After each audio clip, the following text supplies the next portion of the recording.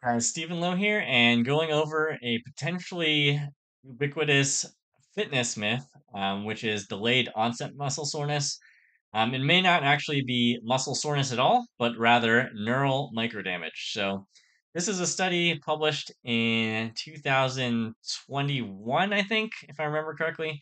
Um, I linked, uh, obviously, a link down in the bottom of this slide if you want to go check it out. Um, it's pretty short, so you don't have to type in that much. Um, but basically, it goes over a new theory on DOMS, which is potentially neural microdamage. So we're going to go through it and try to understand what they're talking about. All right, so this is the muscle spindle within the muscle. And if you look on the outside, basically um, the extrafusal muscle fibers on the outside are um, the in, in the muscle, um, basically the muscle here they have uh, extrafusal muscle fibers running um, alongside all of the other muscle fibers in the muscle. And inside the extrafusal muscle fibers is basically um, intrafusal muscle fibers, and they have basically these uh, nerve endings uh, that go to the muscle and they're wrapped around or inserted onto the intrafusal muscle fiber. And these two different ones that are proposed in the theory are the type 1A and then the type 2 uh, muscle fibers or uh, neural um, fibers that go to the intrafusal muscle fibers. And so, as you can see on the picture, um, basically when the muscle is more relaxed, um, they're at uh, rest. And then once the muscle is starting to be stretched, um, as you can see in the uh, image, um, basically the 1A ones that are wrapped around the intrafusal muscle fiber like that, um, they can sense the stretch on the muscle. And this is the basically the stretch shorten reflex in your muscle when you bring a muscle into long range, such as your hamstring when you're doing a hamstring stretch. Um, basically, the the 1A fibers detect that the muscle is being stretched, and so it starts to tell your body, okay, this is an unsafe range, and to fire the hamstring muscles um, in that passive range to tighten up and not let it go further. Um, so the, the type 2 also provide feedback, and we'll check that out in a sec. Um, so what happens here?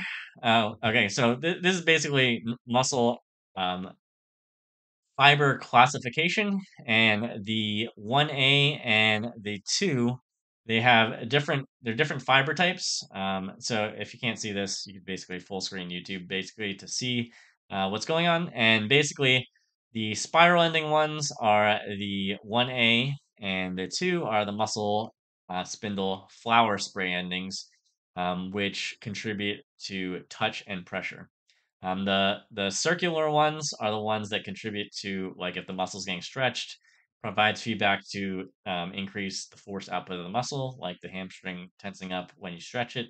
Um, and the, then the two ones, um, the flower ending that stick onto them like that, um, they basically convey um, touch and pressure when uh, pressure is put on the muscle or the muscle is, you know, working through a contraction. And so that becomes important uh, when we're looking at this in the next slide, which helps to explain what their theory is about.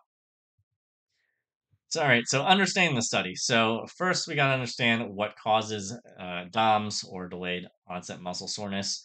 Um, most often it is new exercises. So, if you haven't done an exercise before, um, you're usually moving into a new range of motion or a different movement pattern that can cause soreness. Um, similarly, excessive exercises. Somebody's never, uh, if somebody's like sedentary and then they go try to run a 5K or 10K or God forbid, a half marathon or marathon. Obviously, the excessive uh, exercise is going to cause some so, uh, usually very severe soreness. And then um, the main one in the scientific literature that they hone on to is eccentric motions. Um, eccentric motions, such as like downhill running or like very slow eccentric contractions.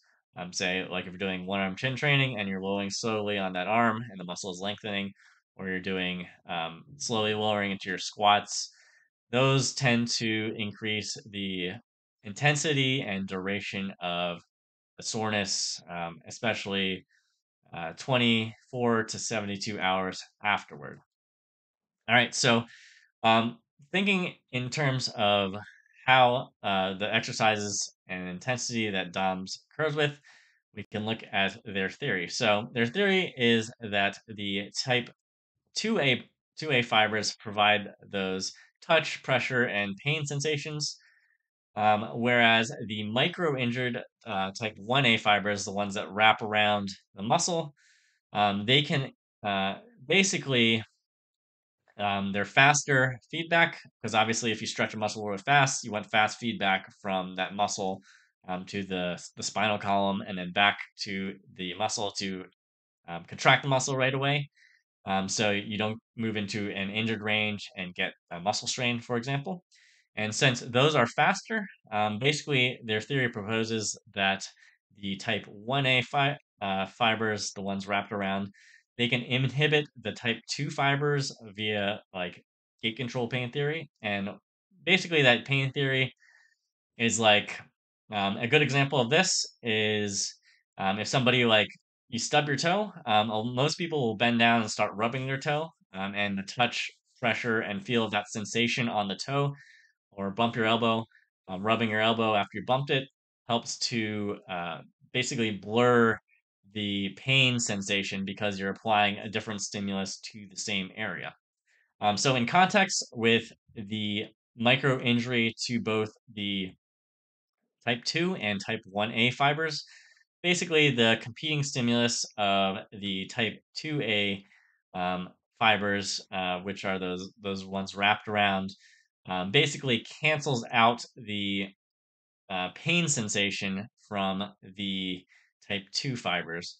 And because the type 1A fibers only provide feedback to the spinal cord and then back to the muscle to contract, they're non nociceptive or they don't, uh, ba- they basically don't carry any pain sensation. So basically, a fiber that is um, inhibiting the pain sensation fibers, um, it's not, it, it's basically there providing feedback and um, the body doesn't feel the pain sensation. So this is why, um, like for example, if you strain a muscle or you do too much to a muscle, it'll start to hurt right away if you injure it. Um, however, DOMS is usually present only about 24 to 72 hours later, and so um, it doesn't make sense that the muscle itself is injured um, with DOMS. Um, basically, their theory is that the uh, gate control of the 1A fiber is canceling out the or inhibiting the sensory fibers of the two um,